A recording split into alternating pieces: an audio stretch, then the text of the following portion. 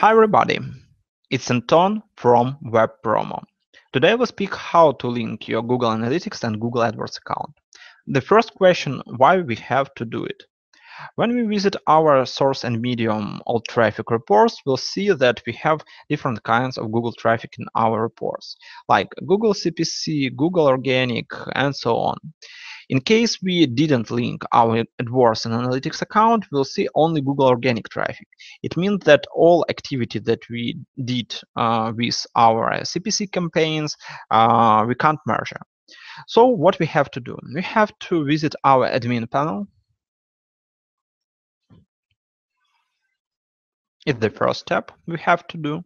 The second step, we have to find AdWords linking tab, press it, and if we see nothing uh, in this tab, it's a really bad sign for us. We have to add new link group and to uh, link our accounts only for a few clicks.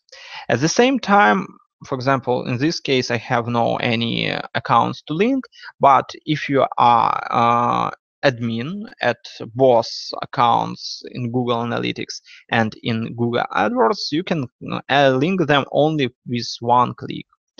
Uh, what we uh, get as a result to all our URLs in Google AdWords, uh, AdWords will add special parameters like Google Click ID, GCLID. And these parameters they will tell to Google Analytics that person visited our site came from Google AdWords, from exact campaign, from exact ad, and from exact keyword. This information will analyze more in details in our Google AdWords reporting. In reporting tab, AdWords.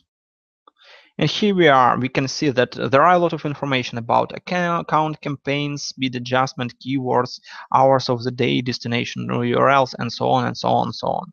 All this information you can get and analyze only after you linked your Google Analytics and Google AdWords account. So please do it one way, and uh, after you have done it, you can analyze it and increase your sales of your business online. It was Anton from WebPromo. Don't forget to subscribe to our YouTube channel and put like to this video. See you in the next hour podcasts.